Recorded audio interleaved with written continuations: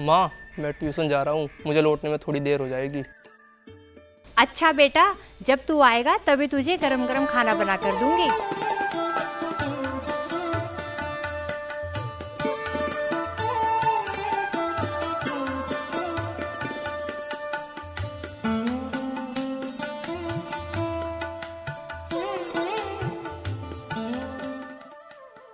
किसी सोच विचार में हो क्या? सोच तो मैं ये रहा हूँ कि गोपाल की मेहनत रंग लाएगी। और मुझे भरोसा भी है कि वो इंजीनियरिंग के दाखिले के इम्तहान में पास भी हो जाएगा। ये तो बहुत खुशी की बात है। इसमें सोच विचार कैसा? गोपाल की इंजीनियरिंग कॉलेज की पढ़ाई का खर्चा कैसे निकलेगा? यही सोचता खेत अब हमारे इतनी उपज नहीं देते। पूरी मेहनत करने के बाद भी फ़सल कम होती जा रही है। जबकि हमें तो चाहिए ज़्यादा उपज और ज़्यादा आमदनी। मैं घर में खर्चा कम करके कुछ बचत करूँगी। नहीं होगा तो कर्जा ले लेंगे। अरे ये कोई एक दो दिन की बात नहीं है। पूरे चार साल की पढ़ाई है और अपनी ही आमदनी बढ़नी चाहिए। और एक किसान की आमदनी तो खेती से ही बढ़ेगी ना। मेरी मानो तो एक बात बोलूँ पिछली बार जब हम मौसी की लड़की की शादी में उनके गाँव में गए थे तो मौसी बता रही थी कि हरिया और गाँव वाले अपने खेतों में गिरते हुए उपज को लेकर परेशान थे। इस बार तो उनके खेतों की फ़सल पूरे ज़िले में सबसे अच्छी हुई है। हाँ वही तो वो कह रही थी उन्होंने वो क्रिपको वाले हैं ना उनसे अपनी फ़सल के बारे में सलाह ली थी। अच्छा ठीक है। मैं भी अगली बार हरिया के साथ क्रिबको के कृषि परामर्श केंद्र में जाकर अपने खेतों और फ़सल के बारे में बात करूँगा।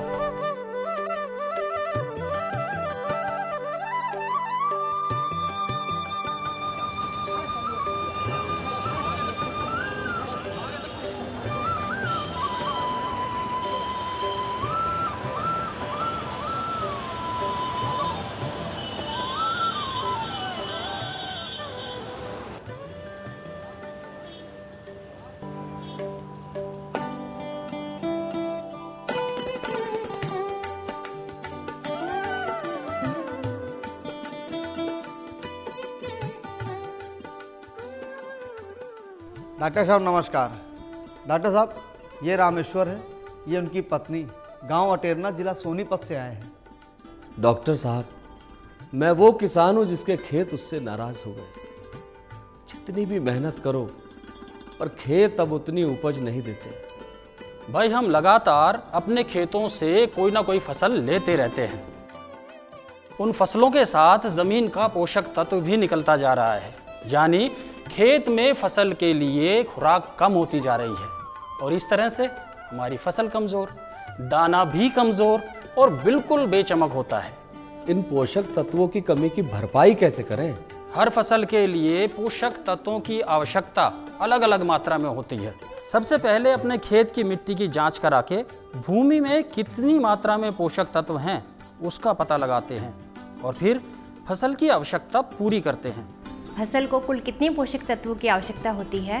फ़सल को जो आवश्यक पोषक तत्व चाहिए, उनकी कुल संख्या है 16 तीन तत्व, ऑक्सीजन, हाइड्रोजन और कार्बन तो हवा और पानी से मिलते हैं, जिनके बारे में हम बिल्कुल चिंता नहीं करते। तीन प्रमुख तत्व, नाइट्रोजन, फास्फोरस और पोटाश हैं, जिनकी ज़्यादा मात्रा में ज़रूरत होती है। तीन गौण तत्व हैं, कैल्शियम, मैग्नीशियम और सल्फ़र। बाकी सात सूक्ष्म तत्व हैं, zinc, copper, iron, manganese, boron, molybdenum और क्लोरीन। जो तत्व भूमि में पर्याप्त है, उन्हें हम ऊपर से नहीं देते। लेकिन जिन तत्वों की भूमि में कमी है, उन्हें हम अलग से देते हैं। संतुलित उर्वरक उपयोग से पौधों में बीमारी, कीड़ों और सूखे के प्रतिरोधक क्षमता बढ़ जाती है। इससे फ़सल की गुणवत्ता, स्वाद, सुगंध, आकार पर भी असर पड़ता है। इससे उपज में बढ़ोतरी के साथ गुणवत्ता भी बढ़ती है। फ़सल का बाज़ार में भाव भी ज़्यादा मिलता है। भूमि में जीवांश की मात्रा बढ़ने के साथ भूमि के स्वास्थ्य को भी बनाए रखा जा सकता है। ठीक है, डॉक्टर साहब। सबसे पहले हम आपसे मिट्टी की जाँच कराएँगे और ये पता लगाएँगे कि हमारी मिट्टी में कितने पोषक तत्व हैं। फिर आपसे मिलेंगे।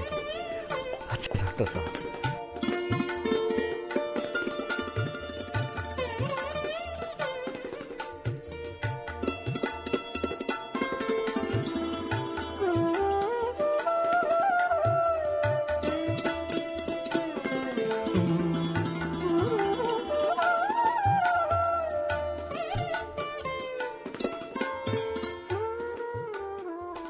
ये हैं डॉक्टर राजेश मृदा वैज्ञानिक।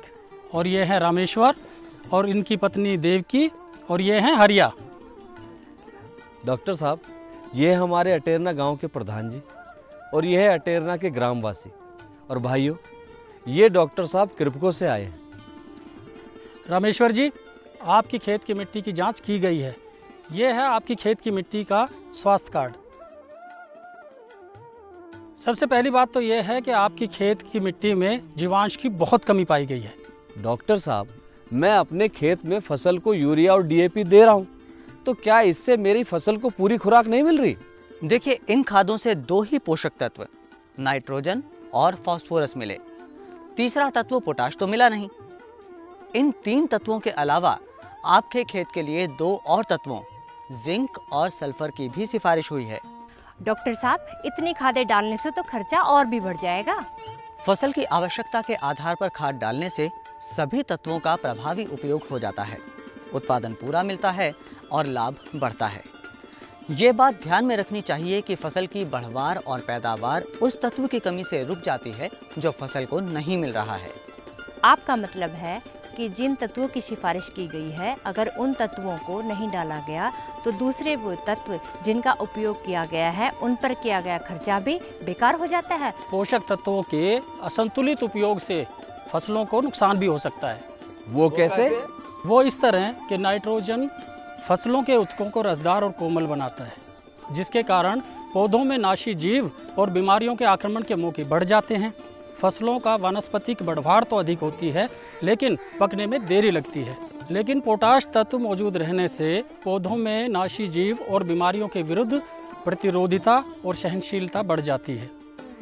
इसी तरह से फास्फोरस से पौधों की जड़ों का विकास होता है और उनके पकने में जल्दी होती है। साथ ही ये फ़सलों के दाने को भी मोटा करता है।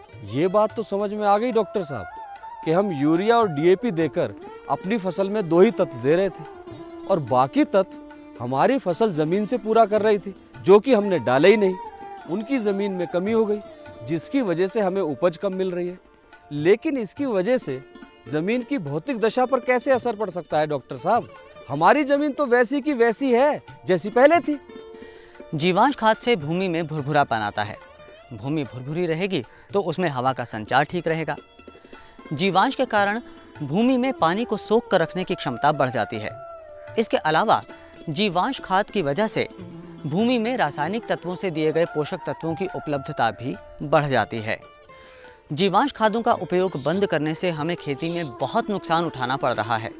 मिट्टी की भौतिक, रासायनिक और जैविक संरचना ही गड़बड़ा रही है। अब स्थिति ऐसी हो गई है कि भरपूर फ़सल लेने के लिए हमें रासायनिक खादों के साथ साथ जैविक खादों का उपयोग करना आवश्यक हो गया है। डॉक्टर साहब, क्या हम जितना खाद अपनी खेत में डालते हैं क्या वो हमारी फ़सल को मिल जाता है? आपको ये बताना चाहूँगा कि नाइट्रोजन का प्रभावी उपयोग केवल 50 प्रतिशत ही है और धान की फ़सल में तो इसका प्रभावी उपयोग 30 प्रतिशत तक ही रह रहा है। इसका मतलब ये कि आधे से ज़्यादा नाइट्रोजन का खर्चा बेकार हो रहा है और ये नाइट्रोजन पौधों में ना जाकर पर्यावरण के पानी या वायु में जा रहा है। फॉस्फोरस का प्रभावी उपयोग और भी कम है 20 से 25 प्रतिशत। जबकि फॉस्फोरस एक महँगा तत्व है। पोटाश का प्रभावी उपयोग 70 प्रतिशत तक रहता है।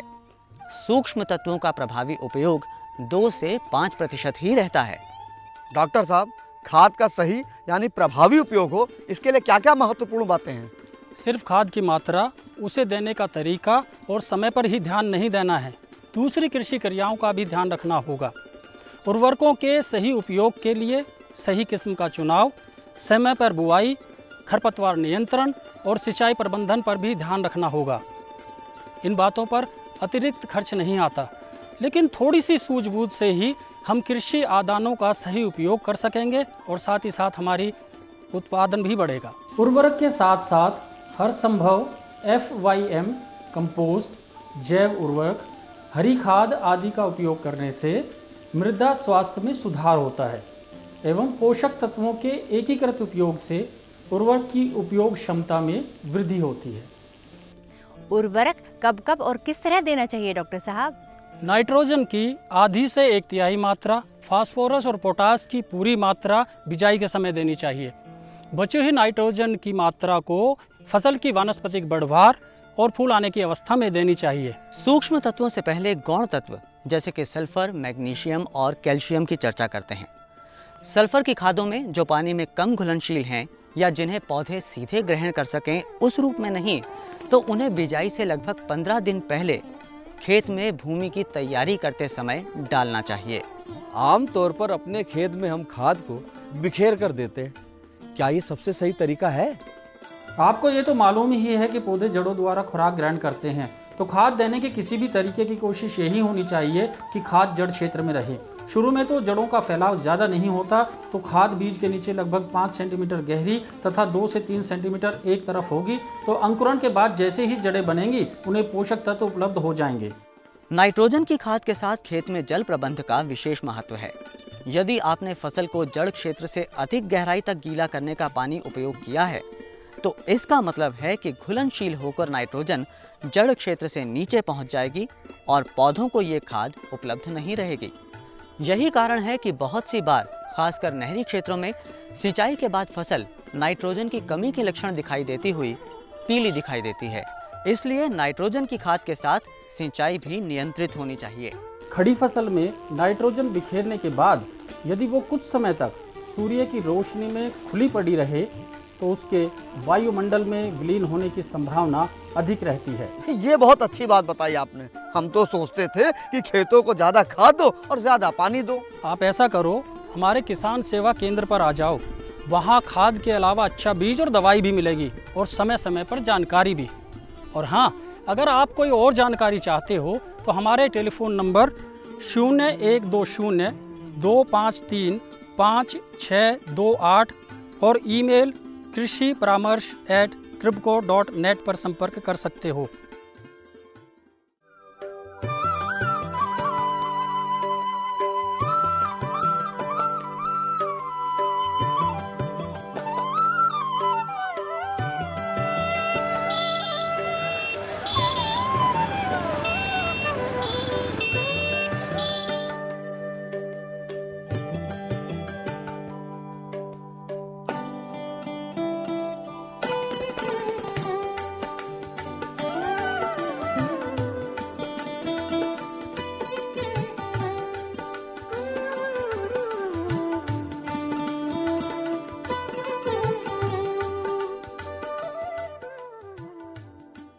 अखबार पढ़ लिया क्या?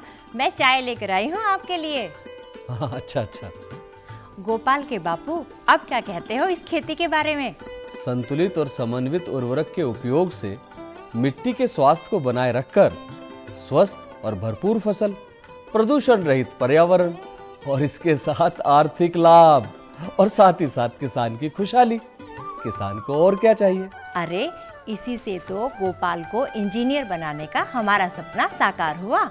हम सभी किसानों को खाद का प्रभावी उपयोग करना चाहिए। इससे धरती किसान और देश सभी समृद्ध होंगे। मेरा किसान भाइयों से को ये संदेश है कि आप खाद का- का जो प्रयोग कर रहे हैं अपने खेतों में उसे सोच समझ के करें।